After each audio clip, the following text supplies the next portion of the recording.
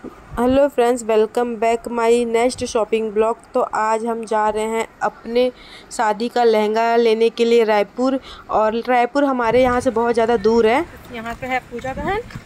अरे पूजा बहन कहाँ होगी? इधर है। और रायपुर दूर होने की वजह से हम लोगों को बस से जाना था और हम लोगों को काफ़ी लेट हो गया था। तो हम लोगों को बस जो बस मिली हम लोग उस पर बैठ गए उसमें बहुत ज़्यादा क्राउड था। बस वैसे लग रहा है जैसे अभी पैर को पता चल रहा कैसा लग रहा है? यहाँ पूजा बहन कैसा लग रहा है? लोगों को सीट मिल गया तो हम लोगों को बहुत अच्छा लग रहा है। सुकून।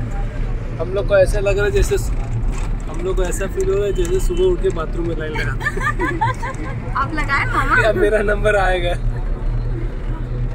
डूबे मामा? कौन से गम में डूबे गाना सुनो।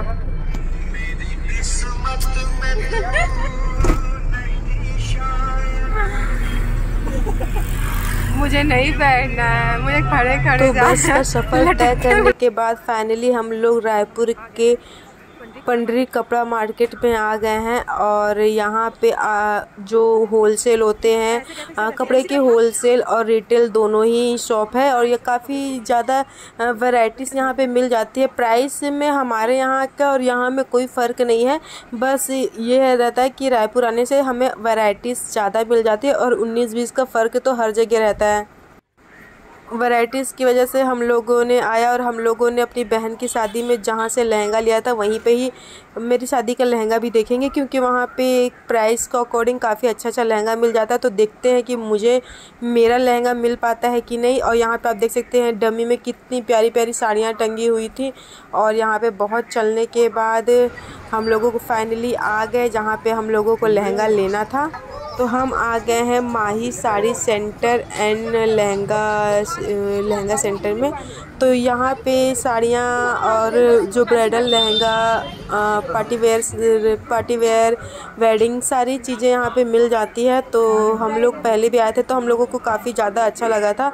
तो यहाँ पे आप देख सकते कितनी सारी वैरायटीज़ यहाँ पे लहंगे थे और मुझे जल्दी कुछ खास पसंद नहीं आ रहे थे और मुझे रेड ही लेना था। रेड इसलिए लेना था कि रेड हम अपनी शादी में ही पहन पाते हैं और बाकी कभी हम रेड ऐसे रेड लहंगा पहनने में थोड़ा सा और लगता है। मुझे ऐसा लगता है शादी के जोड़ा हमेशा रेड रहे तो ज़्यादा अच्छा रहता है। तो मैं हमेशा ट्रेडिशनल को फॉलो करती हूँ। तो मुझे रेड ही लहंगा लेना था। यहाँ पे वैरायटीज़ बहुत दिखाए थे कलर भी बहुत दिखाए थे। तो मैं यहाँ पे दो तीन लहंगे ट्राई की। तो मेरे ऊपर देखने में तो अच्छे लग रहे जब मैं पहन रही थी तो मेरे ऊपर उतने कुछ खास नहीं लग रहे थे। तो यहाँ पर मैंने तीन चार लहंगे ट्राई किए। तो इसमें से मैंने कौन सा लहंगा लिया है? अगर आपको ये जानना है तो आपको मेरा आपको मेरा व्लॉग देखते रहना पड़ेगा। क्योंकि मैं लहंगा शादी में पहनूँगी तो आप लोगों को पता चल जाएगा। इसके लिए आप मेरे चैनल को सब्सक्राइब कर लीजिए और इसमें से कौन सा लहंगा आपको अच्छा लग रहा है कमेंट करके ज़रूर बताइएगा। वैसे यहाँ पे वीडियो लेने से मना करे थे, लेकिन हम लोग चोरी चुप के वीडियो ले लिए थे। यार ब्लॉग में डालोगे नहीं तो अच्छा भी नहीं लगता।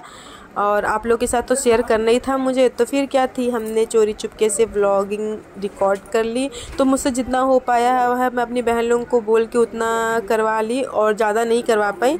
फिर उसके बाद हम निकल गए, हम गए साड़ी सेंटर में। तो यहाँ पे ये प्रकाश साड़ी है, यहाँ पे आपको होलसेल और रिटेल दोनों मिलता है। और ये होलसेलर है जो कि साड़ियाँ अपनी रिटेल में भी देते हैं। तो हम लोग वहाँ पे आ गए। यहाँ पे आपको बहुत सारी वैरायटीज़ की साड़ियाँ कम प्राइस में मिल जाएगी, लेकिन आपको इसमें से अच्छी ढूंढ के निकालनी पड़ेगी। और यहाँ पे एक एक टुक डेमो टंगे हुए हैं और बाकी साड़ियाँ नीचे रखी हुई हैं। उसमें कलर ऑप्शन भी बहुत मिल जाते हैं। और यहाँ पे इतनी ज़्यादा भीड़ रहती, इतनी ज़्यादा भीड़ रहती है कि मैं आपको बता नहीं सकते। आप किसी भी टाइम में आ जाएँगे और ये और ये थ्री फ्लोर का होलसेल शोरूम है। और यहाँ पे एक जगह लेडीज़ की साड़ियाँ और एक जगह जेंट्स के कपड़े, एक जगह बच्चे के कपड़े मतलब बहुत सारे सब के मतलब पूरी फैमिली के कपड़े आपको यहाँ पे मिल जाएँगे। तो यहाँ पे आप देख सकते हैं, बहुत अच्छी अच्छी साड़ियाँ मिल रही थी। और गेंजा में आप जिस किसी भी फैब्रिक में ले सकते थे। और यहाँ पे यहाँ पे आप देख सकते हैं थोड़ा सा वीडियो में फास्ट कर ले ताकि आप लोग भी बोर ना होए। और फिर इसके बाद हम लोगों ने साड़ियाँ पसंद की। फिर इसके बाद हम आगे गए। यहाँ पे आलिया भट्ट जो साड़ी में पहनी थी मूवी में वो वाली साड़ी की भी बहुत अच्छी अच्छी वैरायटी थी। बोरिंग फील हो रहा बोरिंग फील क्योंकि मामा के लिए कुछ नहीं मिल रहा है यहाँ पे।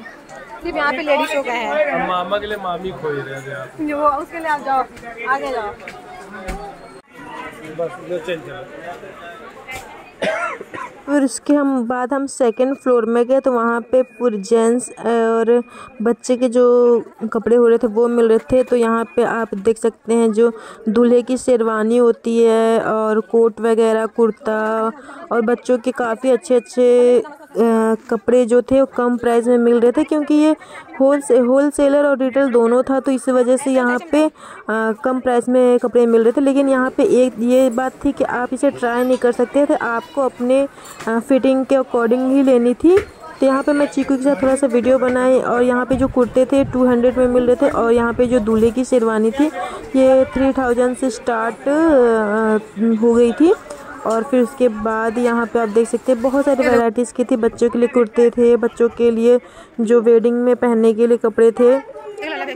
फिर यहाँ पे हम लोगों ने लल्ला और समर के लिए कुर्ता पैजामा लिया शादी में पहनने के लिए। फिर उसके बाद हम गए आगे देखने के लिए कि यहाँ पे और क्या क्या है लेकिन हम लोगों को जितना लेना था हमने ले लिया। फिर यहाँ पे हमें बिलिंग कराने के लिए आ गए तो बिलिंग पे बहुत ज़्यादा बिलिंग काउंटर पे बहुत ज़्यादा भीड़ थी और हम लोगों को एक डेढ़ घंटे तो सिर्फ़ बिलिंग काउंटर पे लग गए थे और यहाँ ये रायपुर का सबसे बड़ा होल सेलर है। तो यहाँ पे काफ़ी ज़्यादा भीड़ थी। आप देख सकते हैं बाहर में लोग जो वेटिंग कर रहे थे अपने फैमिली का वेट कर रहे थे जो बिलिंग काउंटर पे थे। तो यहाँ पे सब कुर्सी लगा लगा के बैठे थे। हम लोगों भी यहाँ पे वेट कर रहे थे कि हमारा बिलिंग भी जल्दी से हो और हम लोग घर जाए। हैं शाम के छः बजे और हम लोग अभी भी वेट कर रहे हैं पेमेंट होने का। और आप देख सकते हैं यहाँ पे इतना ज़्यादा भीड़ है इतना ज़्यादा भीड़ है कि पूछो मत। हम लोग साइड में होके वेट कर रहे हैं। पेमेंट होने के बाद हम लोग निकलेंगे घर के लिए कुछ खाएँगे पियेंगे फिर उसके बाद घर जाएँगे। आज का शेड्यूल हो गया बहुत ज़्यादा बिज़ी हो गया था हम लोग सुबेरे से बिना खाए पिए निकले थे और अभी जाके हम लोग फाइनली हम लोगों की शॉपिंग कंप्लीट हुई और हम लोग अब घर के लिए निकल रहे थे लेकिन हम लोगों को बहुत ज़ोर से भूख लगी थी तो हम लोगों ने सोचा कि पहले कुछ खा लेते हैं उसके बाद जाएँगे तो यहाँ पे हमारा लगेज है। फिर हम लोग को यहाँ पे एक रेस्टोरेंट दिखा, फिर वहाँ पे हम लोगों ने खाना ऑर्डर किया क्योंकि बहुत ज़ोर से भूख लगी थी और हम लोगों ने सुबह से निकले हुए थे और कुछ खाया भी नहीं था। तो दिन भर शॉपिंग करने के बाद थकान भी हो गई तो भूख भी बहुत ज़ोर से लगी थी। तो हम लोगों ने यहाँ पे मटर पनीर और जीरा राइस और रोटी मंगाई और सब लोगों ने थोड़ा थोड़ा खा के निकला तो फ्रेंड्स, मैं अपना व्लॉग यहीं पे ख़त्म करती हूँ। अगर आपको मेरा व्लॉग अच्छा लगा हो तो प्लीज़ मेरे चैनल को सब्सक्राइब ज़रूर करिए ओके, बाय, मिलते हैं नेक्स्ट व्लॉग में।